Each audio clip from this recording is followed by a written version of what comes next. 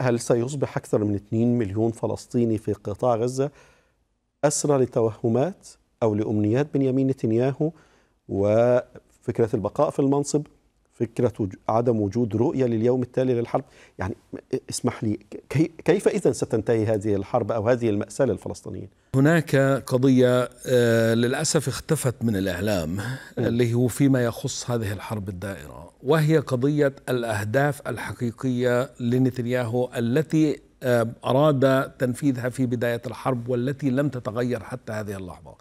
وهذه الأهداف تتمثل بتهجير آه، الفلسطينيين من قطاع غزة. وكما رأينا في الوقت الحالي أنه يستهدف كل القطاعات في قطاع غزة. ليس فقط الأهداف العسكرية ولكن ال- المستشفيات المدارس الجامعات. هذا يستهدف الحياة في قطاع غزة. يستهدف الحياة في غزة باتجاه دفع الناس إلى الهجرة من قطاع غزة. هذا الهدف لم يتغير عند نتنياهو. والدليل على ذلك أن الممارسات أو ال- ال- التي يقوم آه، بضربها في الوقت الحالي هي كلها لم تتغير. يعني كان هناك استهداف للمستشفيات في بداية الحرب وما زالت. صحيح. بالمدارس وما زالت. في التجمعات السكانية وما زالت. بالأهداف قبل فترة قصيرة كان هناك ضرب لأهداف آه، متعلقة بالأنروا وهي مؤسسات آه، أممية. لكن هو سيجد إشكالية.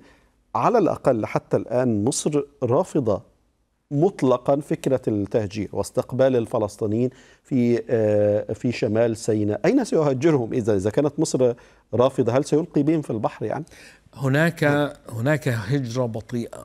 سيد العزيز لأهداف أو لأسباب متعددة. يعني جزء منها صحي وجزء منها يعني أسباب أخرى. وهناك إحصائيات عن عدد من الذين غادروا من بداية الحرب. نحن نتحدث عن عشرات الآلاف. نعم.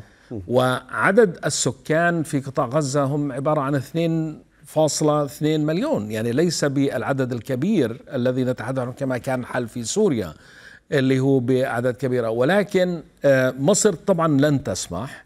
ولكن آه، هذه الهجرة البطيئة أو السفر البطيء هو يتم آه، باتجاه دول أخرى ليس بالضرورة في مصر رغم أنه يوجد أعداد أصبحت كبيرة في مصر. صحيح. هناك عشرات الآلاف الموجودين في مصر في الوقت الحالي. نعم. واعتقد وأتمنى أن تكون القيادة المصرية واعية إلى هذا إلى هذا المسألة.